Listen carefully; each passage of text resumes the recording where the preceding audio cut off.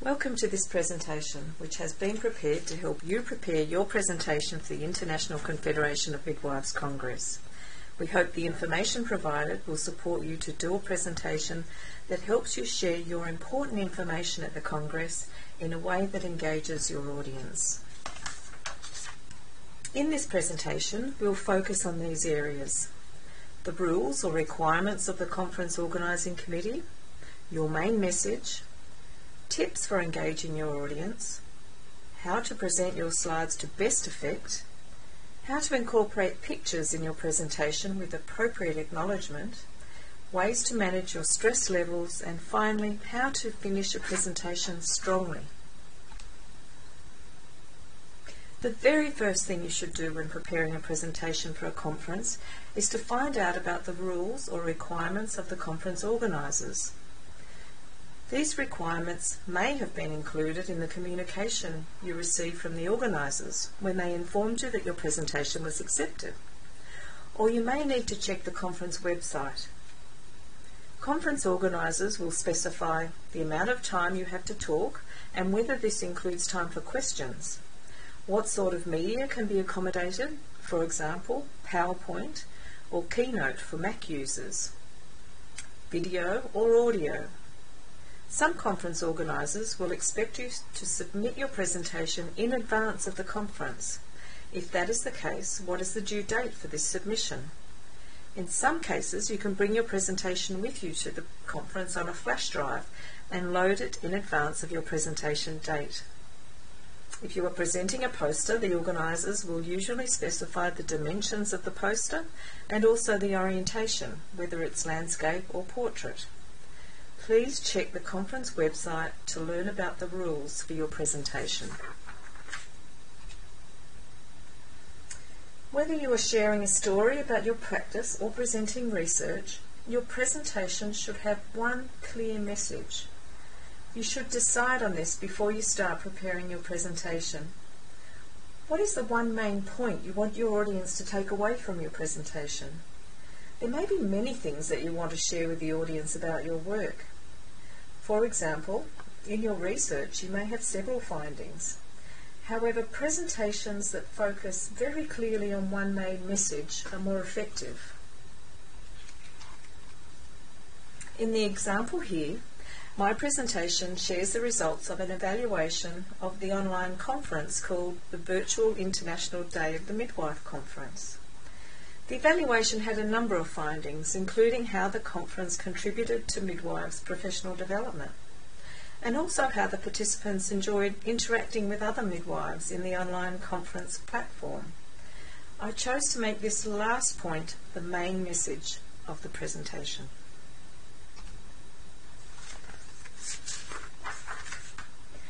The audience will be most attentive and open to your main message if you can fully engage them in your topic.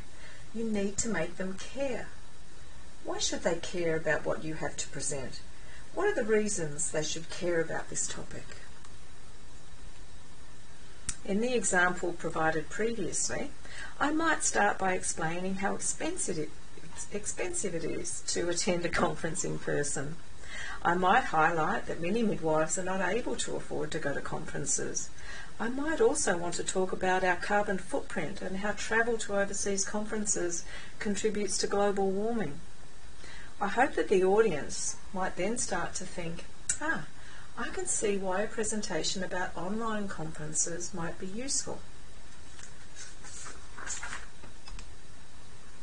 Another way to help your audience engage with your topic is to tell them a story or give the issue a human face. In this example, I might introduce them to a midwife called Maria from Bolivia. She could be fictitious or she could be real. In, in this context, the story is a device to engage the audience. I could tell them that she's one of very few midwives in her area, that she can't afford to travel to conferences, but that she really wants to hear about innovations and research in midwifery so she can provide the best care possible to women. She's also isolated and doesn't have much opportunity to connect with other midwives, though she does have access to the internet. Again, I hope that the audience might then start to think, yes, I can see why a presentation about online conferences might be useful. If you want to explore the issue of engaging your audience further, I recommend that you search YouTube for examples of the three-minute thesis presentations. A presentation by Haley Teasdale is just one example.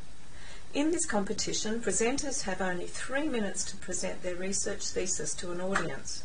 They must quickly engage their audience, and you should pay attention to the ways they achieve this.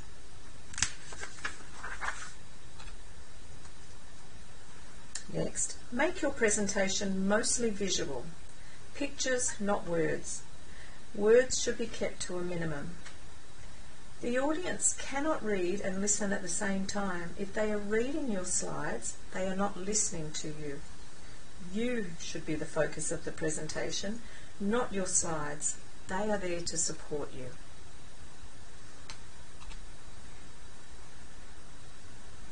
Here's an example. If you were presenting findings from an international survey, for example, rather than describing in words the different countries from which participants came, think about presenting the information graphically for greater impact.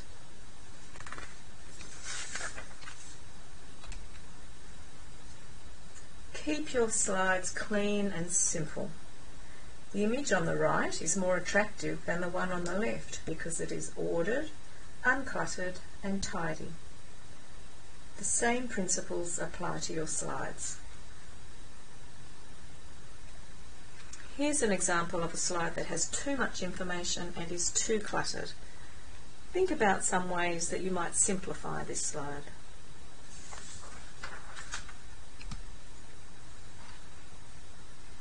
Your slides. PowerPoint is one of the most popular tools for creating presentations though it's not the only one. Keynote is presentation software that is available to those using Apple Mac products, and this is becoming more popular. You may want to explore alternatives, but please make sure that the conference organisers can accommodate your chosen product. Whatever software you use, there are some important rules to follow to ensure your presentation goes smoothly and is interesting to the audience. Remember that you are the focus, not the slide presentation. The presentation slides are there to support you. Keep the number of slides to a minimum. Ideally, there should be no more than 10 to 20 slides for a 20 minute presentation. Do not provide a lot of detail. Do not read directly from the slides. Use the key points on the slide to prompt you to explain the points. Do not use a lot of animations, if any at all. They are distracting. Practice speaking it out aloud with your slides so you are sure you are within the time limit.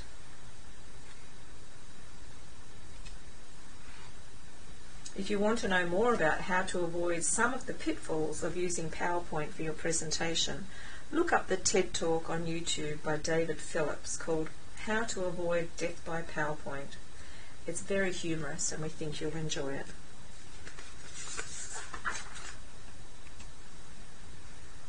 Presentations are more engaging when you use images rather than words. Did you know that you often need permission to use images that you might find on the internet? If you don't have permission from the owner of an image, you can search for images that have a Creative Commons license. This license enables free distribution and use of an otherwise copyrighted image. There are several websites that catalogue images, including, for example, Flickr.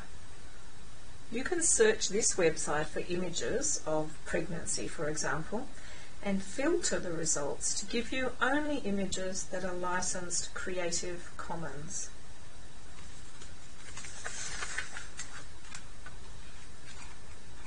Please ensure that you read the exact license for the image. In this Creative Commons license, you are free to use the image for non-commercial purposes as long as you acknowledge the owner of the image. Under this license, you are not allowed to alter the image in any way. The latest version of PowerPoint also has this function. In the top ribbon, go to Insert, then Online Pictures. A new window will appear, and in this example you can see that the Creative Commons Only box is checked. This will provide you with images that have the Creative Commons license that you are free to use in your presentations.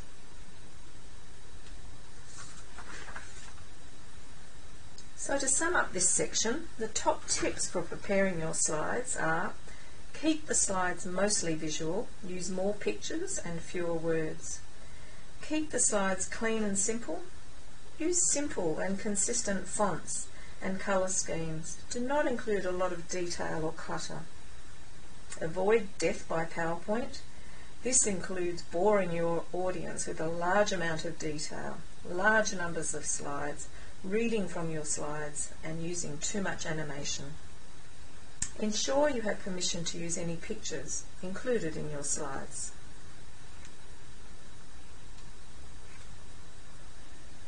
The final element in doing a great presentation is the messenger. That's you. You should present in a professional, calm and confident manner. This will help the audience engage with you and have confidence in your message. Most people find public speaking scary. Often, though, speakers don't appear to be as nervous as they feel. There are some things you can do to manage your nervousness when doing a presentation. Be well hydrated and nourished. Even though you may be nervous, do not forgo breakfast or lunch. Your brain will work better if it is nourished and hydrated. Be well prepared and organised. You should know your material well. You should have practiced your timing. You should have a printed copy of your presentation at hand and you should anticipate some of the questions you might be asked. You should have provided the presentation to the conference organisers as directed and you should arrive at the presentation room well in advance of the presentation time. Arrive ahead of time and scope out the setting and equipment in advance of your presentation, check out the room and equipment. What sort of room is it? What is the capacity? Where will you be standing? Where is the projector and screen? And where are your controls?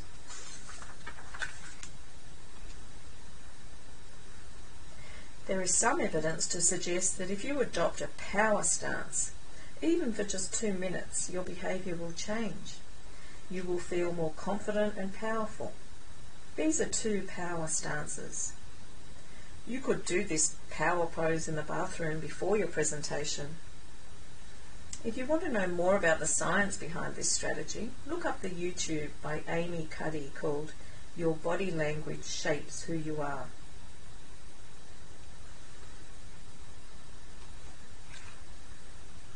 Think about your posture when you're in the room before your presentation begins. You might not want to adopt a power pose, but you can still have a strong posture, upright and open. Fake it till you make it. Fake confidence if you're not feeling confident. We recommend you seek out the session facilitator before your presentation. Make sure they know who you are and that you have arrived. Sit at the front of the room so you can easily take your position as presenter when your session begins. Make an effort to smile and move during the presentation. This will help you to relax and will help the audience to engage with you.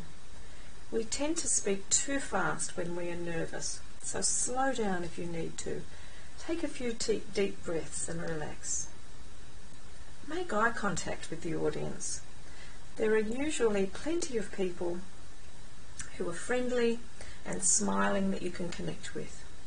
You will notice that some people will be nodding in agreement with what you are saying. Make eye contact with them. Try to make eye contact with people in different parts of the room also. This makes people feel like you're connecting with them, that you're talking directly to them.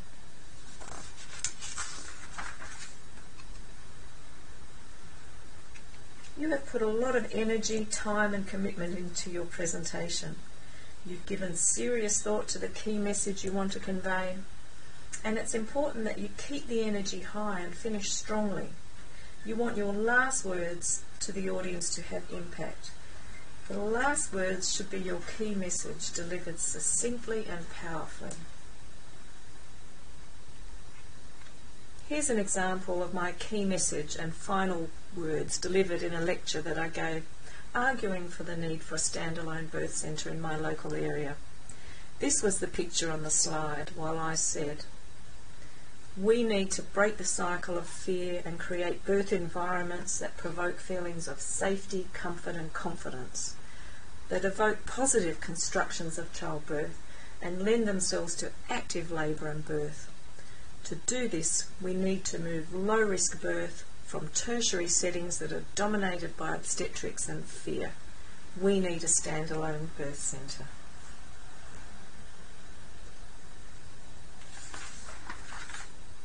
Here are the words again. We need a standalone birth centre. This was the last thing I wanted the audience to hear. This was the message I wanted them to take away from my lecture.